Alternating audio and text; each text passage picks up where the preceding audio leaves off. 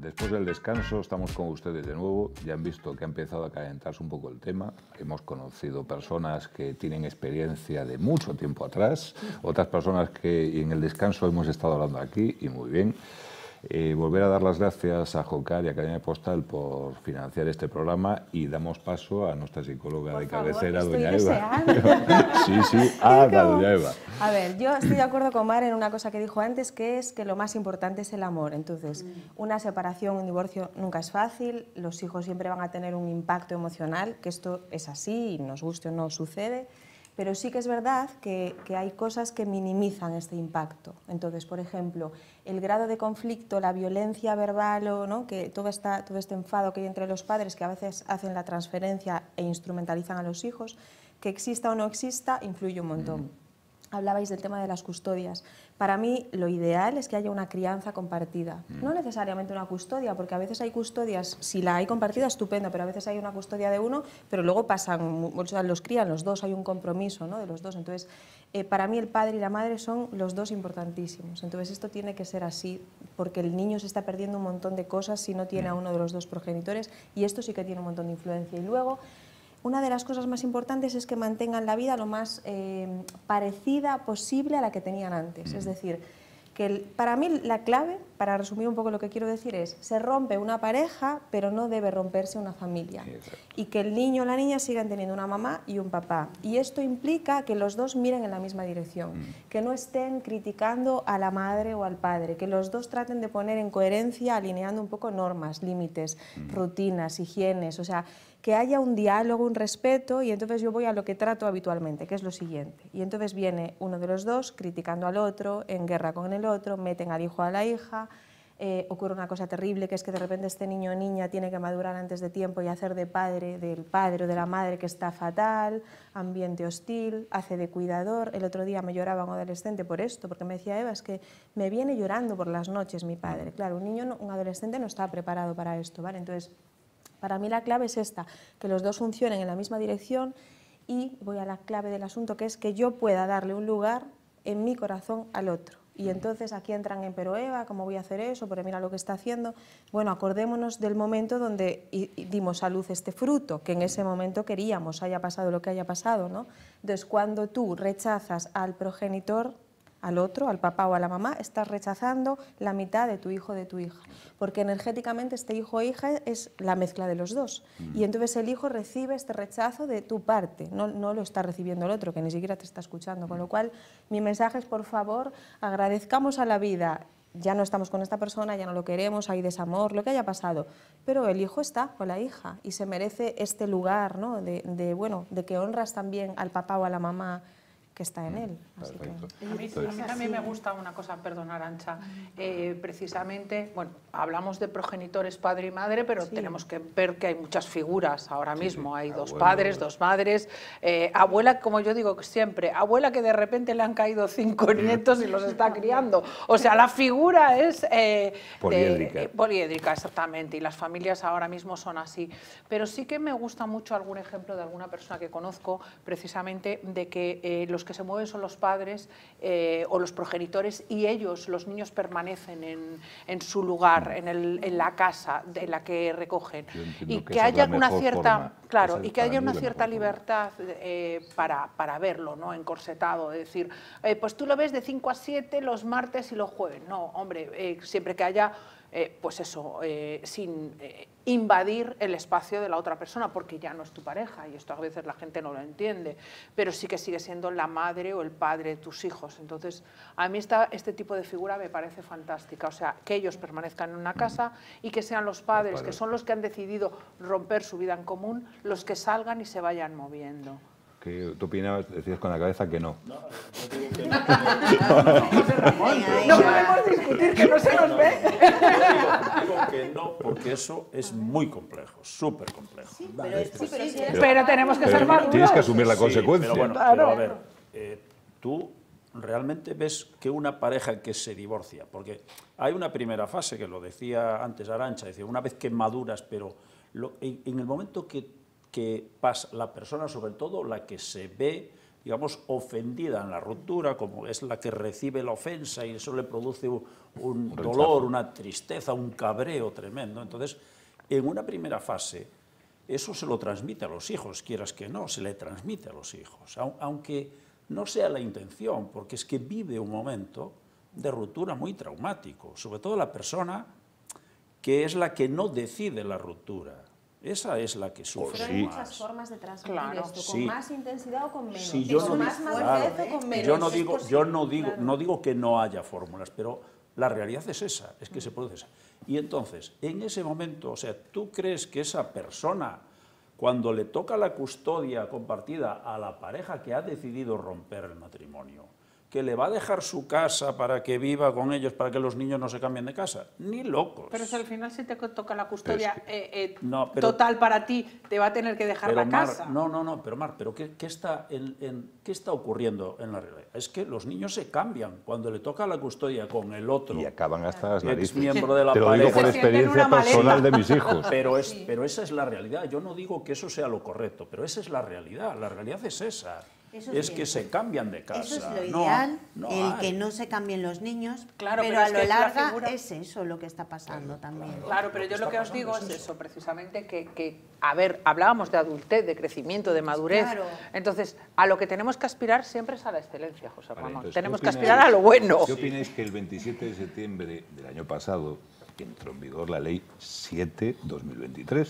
Qué bonita. Que si yo quiero tener un perrito, tengo que tener una serie de características. Y yo me pregunto, vale, ergo, si yo tengo, quiero tener un hijo, tendré que tener un certificado de unos psicólogos, de unos pedagogos que diga, usted puede tenerlo. certificado para ser padre. vale, pero es que entonces, es que ahí es donde tú te evitas el problema cuando te divorcias. no, no, no viene con, pero con manual. Y el perro también viene con manual en blanco. No, no. Y el gato y el ratón. El perro, eh, no, el perro no, no, el perro, no, pero es que si estamos en esta sociedad que vamos a ver qué bonitos son los animales, ¿vale? ¿Y los hijos? ¿Qué pasa con ellos? ¿Qué pasa? ¿Que son menos importantes que los animales de compañía? Yo creo que ahí fue una metedura de pata por parte del legislador. yo, creo que Pero aparte mayor, es decir, ya que haces esto, utilízalo en positivo para... O sea, de ese, 40, de ese 43% que tienen hijos con menores de edad, si supiesen, si usted quiere un hijo esto, entonces, con lo cual, de ahí ya viene el argumento de que no vengan Yo sabes lo que te digo, Raúl, que el legislador no se meta en legislar cómo se deben educar a los hijos o las no, relaciones. No, no, no, no, no, cómo educar. Es que, no, es que es el conflicto que acaba de al generar. Al final, que, que te, van a decir cómo tienes que, No, no, no. Pero si ya casi se están metiendo. Si pues ya está para ciertas pues cosas, no hace falta el, derecho, el, compromiso del padre, pero hay... lo que hay es que quitarlo de los animales, no meter más leyes y más control. No, pero aprovechando, porque el conflicto que generó ahora Mar sin querer, dice, no, es que lo lógico es que los padres se muevan, claro, y de repente ya es José Ramón no, vale, es un no, tema no, yo, digo, yo digo, lo ideal es esto, la realidad es otra, pero estamos intentando eh, eh, pensar en positivo hacia nuestros hijos. Em, cuando Paula me animó a venir, me dijo, ¿te acuerdas de mi amiga X que lleva 10 años traumatizada precisamente por el divorcio de los padres? Por eh, de maleta. Mm, claro que no, porque no lo asumió y porque además... Eh, Mm, no necesariamente. Pero porque depende mucho, yo creo que aquí depende mucho de la madurez de los padres. o sea, el divorcio es traumático, sí, pero es que, puede ser un poquito y que sea algo transitorio, que los hijos coloquen bien en un futuro, que no sea un trauma permanente o verdaderamente puede ser un trauma eh, gordo. Pero es que esto depende de la habilidad emocional de los padres, depende, insisto, de, de la violencia que haya, del respeto, de la comunicación, de la madurez de los padres sobre todo, porque hay, hay temas importantes ahí que antes no mencioné, que son la culpa y el abandono. Por ejemplo, un sentimiento muy común es la culpabilidad, que esto hay que dejarles muy claro que no tiene nada que ver con ellos. Y no todos los padres hacen esto y no se lo explican. Y muchos los culpabilizan. que esto ya me parece tremendo, ¿vale? Y luego el tema del abandono, de la sensación de abandono, ¿no? Cuando son, por ejemplo, adolescentes, que es una edad compleja para, para que esto ocurra, muchos están probando a los padres, una para ver límites y otra para ver cuánto de incondicional es tu amor, para ver si me vas a abandonar. Y entonces están ahí, ¿no? Y claro, y hay padres aquí, yo a veces escucho cosas que digo, Dios mío, pero verdaderamente estos padres tienen que trabajarse emocionalmente, ¿no? Porque él es un adolescente, él no tiene la madurez, el adulto eres tú. Y no lo digo como crítica, lo digo con todo el amor del mundo porque a, todos nos toca trabajarnos, ¿no? Pero digo, de todo este conglomerado de cosas depende cómo él gestione el divorcio, ¿vale? Entonces, bueno, no tiene que ser tan traumático si hay una buena gestión pocos creo que son los que pueden hacer eso, pero sería lo ideal. Yo estoy de acuerdo contigo. ¿eh? No, y aparte de que, eh, de que perdón, es que eh, muchas veces no nos damos cuenta precisamente de que la vida son una serie de inconvenientes y todo te lleva a un crecimiento personal. Quedarte anclado en ese problema va a ser siempre lo que vas a arrastrar a lo largo de tu vida, pero evidentemente las situaciones de la vida te van preparando de alguna manera para, para crecer tú también como hijo o como hija. Eh, y, eso es lo que tenemos que intentar. Siempre nos preocupamos del bienestar de nuestros hijos y de nuestras hijas por encima de todo, o al menos esa es la idea que tenemos. ¿Lo hacemos mejor o peor? Yo antes lo comentaba eh, un poco de coña con los compañeros en el intermedio, que muchas veces nos equivocamos en la manera de criar a nuestros hijos, pero por lo menos debemos de intentarlo, de hacerlo mejor para ellos y para ellas. Entonces, eh, pues al final no utilizarlos como arma arrojadiza y, por supuesto, como decía Eva, eh, quitarles el sentimiento de culpa y la sensación de que tú fuiste el responsable último de que tus padres eh, no se llevaran bien, eh, esto es fundamental. Pero además es que parece surrealista que unos padres le echen la culpa a los hijos. Yo es que eso, y mira que os he contado mi caso personal, que no sé si he hecho bien, pero os lo he contado y es que me parece surrealista. Y, y ha sido además en diferentes generaciones. Eso va con la persona. Y sobre todo, si haces el ejercicio de pensar que queriendo a tu hijo, ese niño, esa niña, es lo mejor que has hecho con esa persona con la que te estás separando, estás pasando el duelo, recordar eso, incluso decírselo a tu hijo, es realmente curativo, porque realmente estás materializando que ese niño, esa niña es lo mejor que ha podido pasar con la otra persona. Y, es totalmente sanador decirlo y decírselo a tu hijo. Yo creo que hay, hay, hay cosas que hacer cuando la pareja se separa, hay cosas que hacer. Y yo creo que es hablar con los hijos, tengan la edad que tengan, hablar con cada uno por separado y explicarle cada uno, incluso también por separado, a cada miembro de la pareja, explicarle, pues oye, que nos vamos a separar, nos separamos por esto, por lo que sea, aunque sea te lo inventas, pero le das una razón por la que se separa y hacerle ver que no tiene nada que ver con ellos. y eso, eso hay que hacerlo, porque la educación aún en pareja a veces no se acierta en la educación. Tú puedes, oye, un matrimonio puede ser muy feliz y tener eh, un hijo 17 y, y, bueno, pues no tener la habilidad de educarlos convenientemente. O sea, que puedes fallar en la educación, pero en, la separación yo creo que tienes que hablar con cada uno de ellos. Pero digo, si rompen, porque hablan poco, imagínate cuando rompen, ya por eso, dan cosas por hechas, Eva, que no, hablan. Pero, Eva, pero yo hablo, hablo, de que tú, por ejemplo, si, si tú te separas, hablas con, con, tu hijo, con tus hijos, y dices, mira, me, tu, tu padre y yo nos separamos, tu madre y yo nos separamos, pero esto no tiene nada que ver contigo, no te va a cambiar la vida, vamos a seguir estando unidos, vamos a seguir estando en contacto. Es, esa es la parte que yo creo que debe trabajarse. va a cambiar, pero te vamos a intentar que te influya lo menos posible. Intentar explicarle que eso es lo que... Hay otra también que me pasaba ayer en, uno de los grupos con una chica, ¿no? que decía, por ejemplo, que, claro, está separada y entonces hablaba mal del papá y cuando yo le decía, pero tú te das cuenta ¿no? de, que esto se lo transmites a tu hijo, me decía, no, no, yo jamás le hablo mal de él. Y digo, ya, pero una cosa es que le hables tú no le estás hablando mal de él, pero es que emanas este mal rollo, que no hace falta que le hables mal, es que, es que solo el no mencionarlo, la cara, la energía que transmites es de, de, Dios, ¿no? Le digo, es justo lo opuesto, o sea, tienes que conseguir ponerte delante de tu hijo y hablarle de cuándo, cuándo estuvisteis bien, del padre inicial que tú conociste. Me dice, Eva, ahora no puedo, si es un horror ahora, y digo, pero es que esto es el regalo que le haces a tu hijo. Sé que es complejo, ¿vale? Porque hay muchos problemas de pareja y, a lo mejor no apetece, ¿vale? Y no cuando estás en pleno duelo, no digo ahí, ¿vale? Con el cabreo, no, bueno, hay que gestionar las emociones, hay que dejar pasar un tiempo, ¿vale? Pero cuando pasa un tiempo, a mí me parece un regalo para el hijo el hablarle de cuándo sí fue bien y de qué hizo bien esta persona, porque el hijo está integrando esa, esa energía masculina o femenina del otro, ¿no? Y lo otro es una pelea que a él le genera un rechazo interno, porque hay una mitad tuya valiosa que está rechazando a la otra mitad. Entonces me parece un regalo valiosísimo, de verdad. Pero yo que un poco, en relación a lo que decía José Ramón antes, tú dices que los matrimonios duran 16 años más o menos. No, no antes lo digo de- yo, eso Bueno, la estadística son 16 años. La estadística de INE son 16 años. Partiendo de la premisa de que las mujeres, porque por ahora quien le da luz es la mujer, el hombre no podemos, es así, casi, pero no podemos, igual que las mujeres quieren hacer cosas que no se pueden, pero hay cosas que sí se pueden. Entonces, en esos 16 años vamos a poner, vamos a suponer que 5 años es de estamos juntos, no hay nadie, y en el quinto año nace el hijo. Entonces, cuando te divorcias, tienen menos, o sea, no es que tengan 16 años, tienen menos edad, es que quería puntualizar ese dato. No son, o sea, se divorcian la gente entre los 10, 12, que para mí, personalmente, eh, si te has, te has dado cuenta de que tu pareja pues, es un bicho, has aguantado 10 años con ella o con él, aguanta 5 años más, hasta que tu hijo... Otra cosa es que haya maltrato, a ella no entro.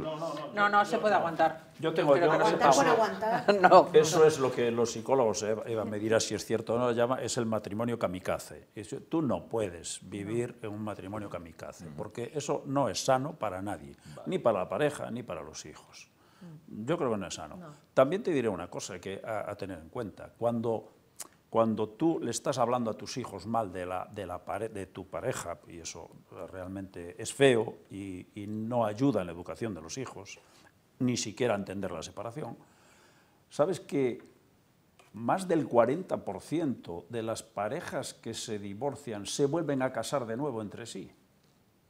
Eh, que vuelven. Que vuelven a casarse. ¿Cuánto porcentaje? El, más del Yo lo encuentro 40%. exagerado. Yo también, yo Sí, encuentro sí, que sí. vine ahí. Pero es, pero es así. Se casan, se casan menos, o sea, rehacen menos su vida con otras parejas que los que realmente vuelven después a, a La ha hecho juntarse. Tezanos País. esa estadística, es de Tezanos. No, no, no, Ah, creo que no. que no, Por porque si no... en el mundo, Porque José. Tezanos diría que el 90%. yo, yo, yo aquí no veo esto. Yo veo que Bueno, ¿En serio? Pero, pero bueno, es- es- esto es lo, que es- Me estos llama- datos están publicados, eh, que no me los atención. A mí me, a mí me sorprende Sí, sí, sí, eh, sí.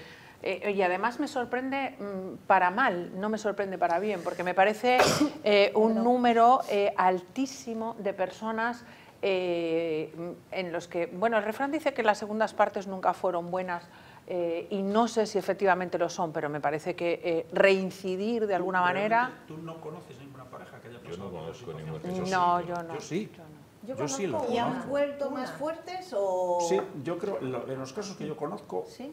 eh, que continúan. eh, Yo después conozco de años, una, pero, continúan, bueno. continúan la, Yo no. la- No es, eh. Pero yo creo que esto Pero no es posible. hijos. Mar antes decía algo que, que eso yo lo trabajo mucho y me parece muy interesante, que es el tema de la evolución. Es decir, para mí las parejas son un espejo claro, con lo cual si uno evoluciona mucho y el otro no, tú dejas de admirarlo, que para mí es la clave, ¿no? Sí, y y entonces también. ya no vas a la par y, y se producen lo que se produzca a nivel visible, enfados, lo que sea, porque para mí ya hay un tema de admiración de que ya no está, ya no está, no habéis evolucionado a la par. Entonces Podría ser que en el impasse de dejarlo, el, el que no había evolucionado evolucione y vuelvan. Podría ser, pero no suele ser así muy común. Bueno, no, yo no lo Sí, veo. sí, sí, pero bueno, a mí me sorprendió el dato, pero es un dato que está publicado, que está que ahí. no, no me lo Y, luego siguiendo con el tema de los hijos, yo creo que lo que eh, nos cuesta mucho a los adultos es entender que ellos están reafirmando su personalidad en el tiempo de la adolescencia, están marcando los límites.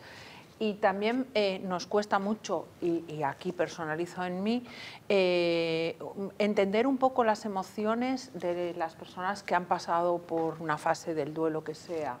Eh, es, es muy difícil entender la rabia, entender la rebelión, entender el enfado, la ira que de alguna manera algunos adolescentes o algunas adolescentes eh, sienten nosotros no lo entendemos, mm, ya no estamos en esa perspectiva de ellos, estamos en la perspectiva de los adultos y entender la rabia adolescente eh, de crecimiento desde aquí, desde esta edad, es muy complicado y muy complejo. Porque a veces hay separaciones que, tú imagínate, eh, tú decides romper hoy, pero llevas un proceso silencioso de, irlo procesando porque ya vas viendo cosas que tú maduras y tienes un año o dos o los que lleves para romper esa o unos meses.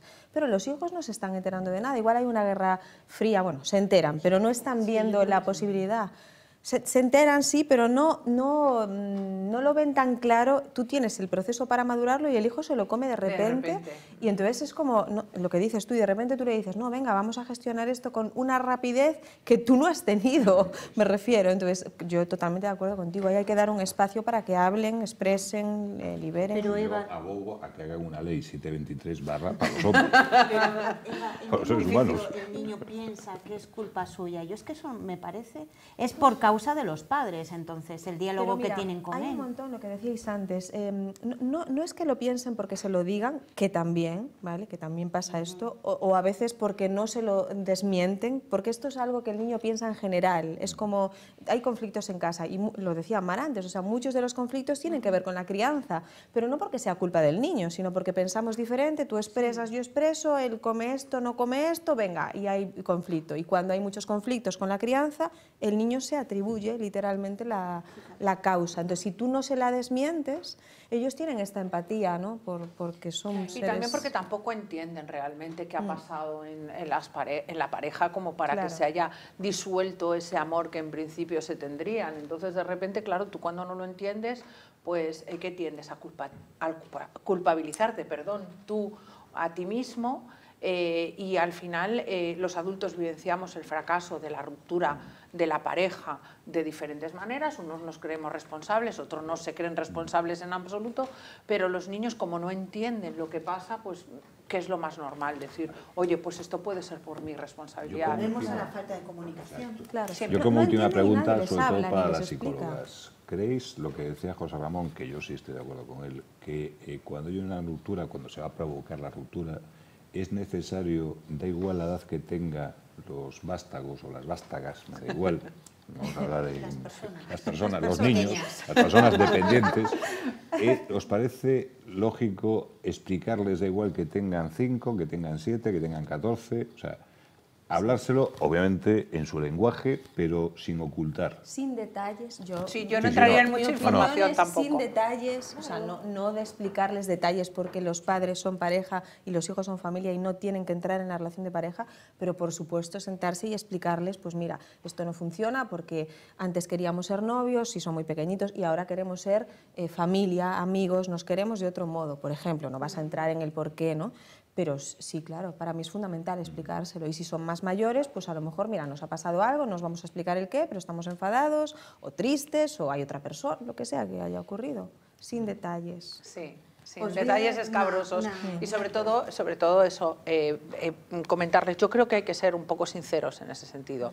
La vida va a cambiar, nos va a cambiar, vamos a ser diferentes, los vínculos no se van a romper, evidentemente, porque no deberíamos romper los vínculos, porque tu padre va a seguir siendo tu padre, tu madre va a seguir siendo tu madre, porque no hay otra posibilidad. Y, lo que sí es, eh, yo les daría información eh, en el sentido de, como dice Eva, sin demasiado truculencia. Los detalles no aportan para nada. Hay veces que es mejor eh, obviar determinado tipo de cuestiones. ¿Para qué? ¿Qué necesidad? Y la actitud al hablar. Cero dramas en la, actitud. Hombre, un poco de drama tiene que haber porque evidentemente, claro, quiero decir, un poco de drama hay porque tú cuando estás comunicando una mala noticia no puedes comunicarla diciendo, Ay, estoy feliz, me voy a divorciar. no debe ser una mala noticia. Es una mala noticia al final, es un fracaso es un fracaso personal. De la pareja. Ellos ya lo están viendo. Yo, mira, trataba ayer a una chica que me pasaba esto. Me, me, me decía, qué hago? Se lo digo. Y digo, pero si ya lo están viendo. O sea, si, si, mira lo triste que estás, ¿tú crees que no lo saben ya? Es decir, lo que tienes es que sentarte y darle coherencia, porque si no el niño está pensando, veo una cosa, pregunto, me dicen que no pasa nada, el que tiene la distorsión de la realidad y está medio loco soy yo. Yo no veo la realidad objetivamente, me pasa algo. Y no, el niño está viendo la realidad, entonces hay que sentarse y explicarle. El lenguaje tiene que ser coherente. Claro. No puedes disfrazar la realidad, No. porque al final eso es- Sinceridad. El lenguaje tiene que ser coherente, tú tienes que expresar exactamente lo mismo que estás sintiendo con la cara, con el cuerpo y con todo. Y si estás eh, dolido, enfadado, triste, el niño también tiene que saberlo, porque tiene que aprender a gestionar las emociones de otras personas. Pero transmitir explicarle es- la, la acción que se va a llevar a cabo, la solución para que las cosas vayan Es que bien. no siempre es una solución, es un cambio. No, el divorcio no es la pero solución. el cambio es para mejor, es una no, transformación. hay personas que no lo asumen como, como para mejor. Lo que sí asumen es que es una, una diferencia sustancial de la situación que había antes. Pero no tiene por qué necesariamente ser para mejor. Para una parte de la pareja igual sí, pero para la otra no. Para mí es un acto de valentía, porque al- y, a- y ahí es como hay que, para, yo eh, al Claro. menos creo que decírselo, ¿no? que es como, mira, esto no está funcionando y esto es la realidad. Quiero decir, uno no se pelea con la realidad, esto es lo que hay, lo hemos intentado, no ha funcionado y es, es mejor un buen divorcio que un mal matrimonio. Entonces, eh, esto ya no funciona y cuando algo no funciona, pues hay que buscar otra manera, ¿no? Yo creo lo que decías tú antes, que tampoco, dependiendo de la edad, tampoco tienes que darle demasiadas explicaciones para no generar más confusión, pero sí lo que tienes es que transmitirle la tranquilidad de que no le va a afectar a- a- a- al niño o a la niña, no le va a afectar, o le va a afectar muy poco. Oye, yo voy a estar Yo igual, te ahora voy a atender hacer igual, de voy a estar Pepito Grillo. ¿Cómo no me va a afectar si tengo que cambiar de casa cada semana? O que al menos voy a Pero intentar aún, que no así, afecte pero aún mucho. así, lo que tienes que decirles es que eso, eso va a formar parte de su nueva normalidad y que no y que eso no, no, va- no debe suponer ningún trauma para la persona, ¿no? Porque, oye, yo al, al fin y al cabo todos eh, tenemos eh, en, en nuestro entorno eh, personas, sobre todo, oye, yo eh, decía antes que el, el divorcio no hace tantos años que lo tenemos en España, entonces ahora ves personas jóvenes, matrimonios jóvenes, que, es- que se separan. ¿no? De- personas mayores de mi edad, pues hay menos, pero personas jóvenes que se separan y todos conocemos en nuestro entorno, por familiares, amigos, hijos de amigos y tal, que, que pasan por eso. Y vemos que no se gestiona bien la separación con los hijos, porque la, la custodia compartida no es el problema. El problema es cuando tú eh, eres, como te digo, tú te sometes al chantaje también del, del niño, porque el niño, oye, pues si ve que tiene una oportunidad de, de- de chantajearte para conseguir cosas, va a hacerlo.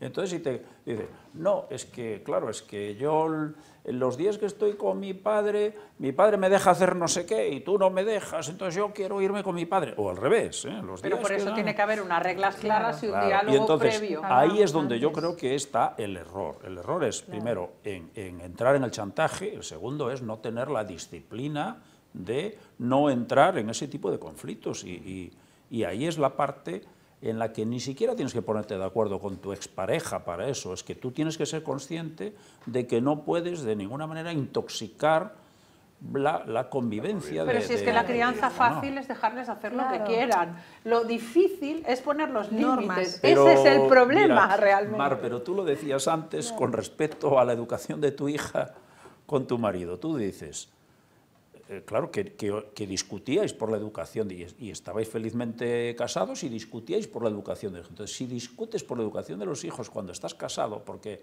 puedes no estar de acuerdo en cómo tu, tu marido, tu, tu mujer eh, educan a tu hijo en determinadas cosas o le consienten determinadas cosas, pues te imagínate cuando estás separado. Eso se multiplica Pero aquí por está mucho. el tema de cuánto, cuánto Ahí de está. prioridad le doy a mis hijos Claro. y cuánto de maduro o madura soy emocionalmente, ¿vale? Porque, porque aquí es donde uno tiene que poner una dirección clara, sentarnos y decir, vale, ¿qué cosas son importantes y en qué cosas flexibilizamos? Por ejemplo, no sé, horario de que se acuesten. No pueden acostarse en una casa a las 12 y en la otra a las 10, porque si cada semana están en uno, o sea, hay que sentarse y, a- y tiene que haber un diálogo y, y los dos mirar en la misma dirección. Hay cosas que De- se flexibilizan y otras que no. Raúl, de la, de la ley 2723. 2723. Es que me llamó la atención, dije, tú, ¿tenemos no has visto, en casa y los tú no has visto cosas como que en mi casa no, yo, un perro yo no lo quiero porque a ver quién lo saca a pasear, a ver quién lo lleva al veterinario, a ver quién lo cuida cuando tú estás en el colegio. Y sin embargo, la otra parte está dispuesta a tener todo, claro. Pues, pues Pero si claro, vas a tener un perro, yo te voy a dejar. no claro, sé qué. Entonces, pero que eso, cosas- al final lo que estás es chantajeando, a fin de Esto- cuentas es eso. O sea, pero juegas- es lo que hay que juegas- gestionar bien. Claro, eso, pero es que eso es lo que hay que juegas con los gestionar. sentimientos Con madurez, de las, como dice Eva. de las personas Hay que ser maduros claro. en ese tipo de... Y que no todo, no todo el mundo es maduro. No, no, no. No, no, no. Exacto. Bueno, aquí tendríamos para hablar mucho más de este tema. Bueno, Pero que muchas sí se puede hacer bien. Sí, sí, sí se puede hacer sí, bien. eso o sea, es un buen mensaje. es algo que que está claro, o sea, se puede hacer, o sea, eh, nadie tiene porque te hayas casado tienes que estar toda tu vida, no, o sea, si de repente esa situación no sirve, pues no sirve, pero obviamente lo que no puedes hacer es y no estamos hablando, no hemos hablado ni de los abuelos ni demás, porque muchas veces el jaleo también se genera por personas que no tienen nada que ver con la familia que se ha generado. Eso es otro programa. Bueno, espero que les haya gustado el programa de hoy. Eh, la comunicación efectiva y respetuosa hará que nuestros hijos o nuestras personas dependientes, ya no que me gusta utilizar la palabra hijos, sino las personas dependientes, tengan un crecimiento equilibrado. Pues que tengan buena semana y dentro de dos semanas nos vemos de nuevo. Buenas noches y muchas gracias.